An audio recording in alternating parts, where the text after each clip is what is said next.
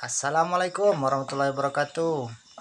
Berjumpa lagi dengan Rizky Algib Dalam kesempatan ini saya ingin berbagi tutorial Yaitu bagaimana cara menaburkan pupuk sawit Di sekitar pokok sawit atau di sekitar batang sawit. Yang baru berkunjung ke channel ini jangan lupa tekan tombol like Subscribe dan komen di bawah. Oke lanjut ke tutorialnya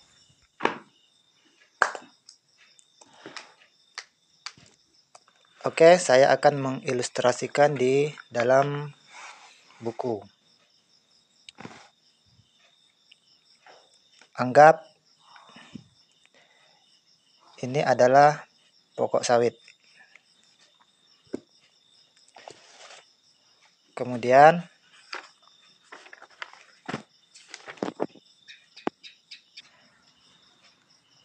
untuk pemupukan jika kita menggunakan borat.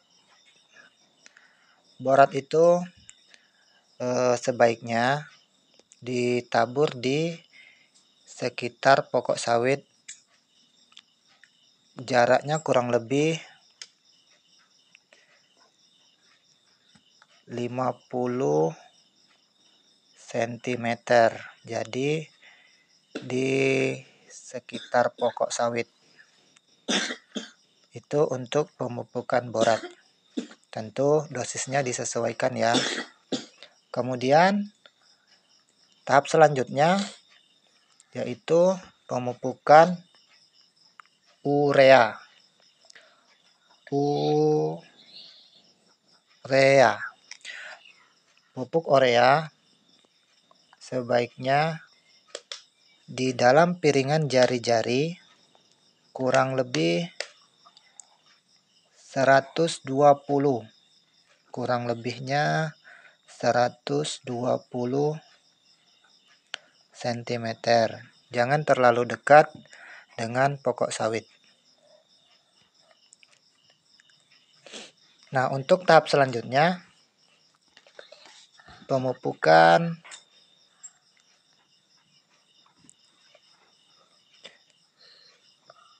kisrit. Nah, kisrit ini sebaiknya lebih jauh daripada urea tadi. Kurang lebih sekitar 150 cm. Jadi dia semakin menjauh dari pokok sawit. Nah, kemudian untuk pemupukan selanjutnya bisa macam-macam. Nah, itu sebaiknya lebih jauh lagi. Nah, ini rentan jarak pemupukan bisa diatur. Bisa misalkan borat. Kemudian urea di bulan selanjutnya. Bulan selanjutnya lagi Kistrit. Bulan selanjutnya lagi bisa MPK, KCL, atau Poska.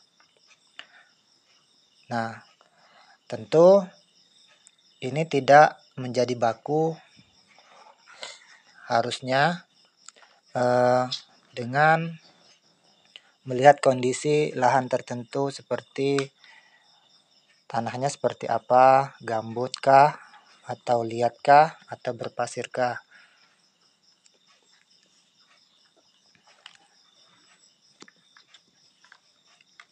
Nah, untuk pengoptimalan pengoptila, pem, pe, pengoptimalan pemupukan ini ya maaf ya ngomongnya belepotan.